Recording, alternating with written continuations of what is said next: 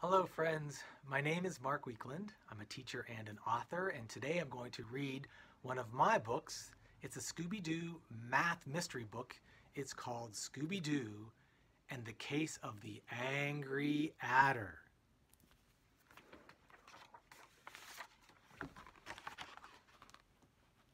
Crystal Cove had a problem, a snake problem. Snakes were mysteriously appearing in the most unlikely places. Two showed up in the library, one slithered through the supermarket, one coiled in little Tyrone's sandbox. The ghost in the purple cape had struck again. Mayor Jones was not happy. Two plus one plus one, he said. Put them together and you get four. It's simple addition. Very good, Mr. Mayor, said his assistant. You could also say 2 plus 2 equals 4. The mayor nodded. Add the other snakes from around town, and we have a mystery on our hands. I'm calling Scooby and the gang. The gang was busy watching the Wild Animal Show with Guy Farrell. The show had been filmed in Crystal Cove. Just then the phone rang. Scooby Doo and Shaggy took the call. Rakes? That's right, Scoob, said Shaggy. Snakes, and a ghost in a purple cape, too. Time to investigate, said Velma. Let's go. The gang spread out. There are five of us, said Fred. Two can go to the west end of town, the others can go to the east end. Two plus three equals five, said Daphne. It adds up. Or you could say 3 plus 2 equals 5, said Velma. When we meet in the middle, we'll be a gang of five again, said Fred. Looks like it's you and me, Scoob, said Shaggy. Velma, Fred, and Daphne watched the street for clues. At the playground, Fred found snakes on the swings and on the seesaw. I see five snakes here, said Fred. Add another five on the swing. 5 plus 5 equals 10. Add 5 more from the slide and you get 15, said Velma. And there are snakes here, said Daphne. 5 plus 5 plus 5 plus 5 equals 20. That's 20 snakes in all. Or we could count up by fives. 5, 10, 15, 20. Either way, it's a lot of snakes. Meanwhile, Scooby and Shaggy had stopped at Dave's snack shack. Our security got a camera. Our security camera got a video of the ghost, said Dave. Take a look. Scooby and Shaggy saw a ghost slinking through the store.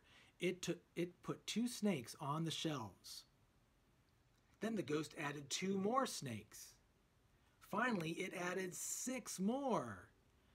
Ten rakes! cried Scooby. It does add up to ten, said Dave. We also found this strange note. I love adding to this town's problems. Sincerely, the Angry Adder.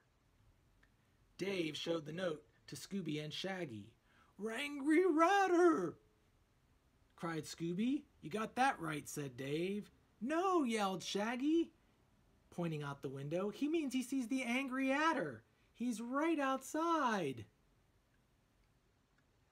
Scooby and Shaggy bolted out the door. The angry adder turned in a pearl of, turned in a swirl of purple and ran. At the park, Velma and Daphne and Fred were setting a trap. The adder put 10 snakes on that bench, said Fred. We will add 10 fake snakes here and 10 more over there, said Velma. That's three tens. 10, 20, 30, said Velma. Counting by tens is easy.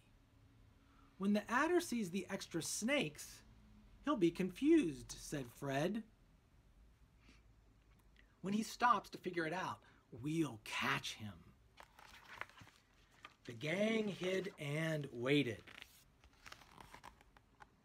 Suddenly, the adder burst into the open. He skidded to a stop when he saw the extra snakes. What? he hissed. Where did all these snakes come from? The adder began counting. Just then Scooby and Shaggy showed up. Pull! they cried. Fred pulled the rope. The net closed. Hey, said Dave, it's Guy Farrell from the Wild Animal Show. I don't like snakes, and I don't like this town, snarled Guy. I was filming here when a snake bit my big toe. I wanted to give snakes and this town a bad name, but you meddling kids and your dogs stopped me. Scooby and the gang solved the mystery, said the mayor. I'll treat you all to snacks at the snack shack. Scooby Dooby Doo, cried Scooby.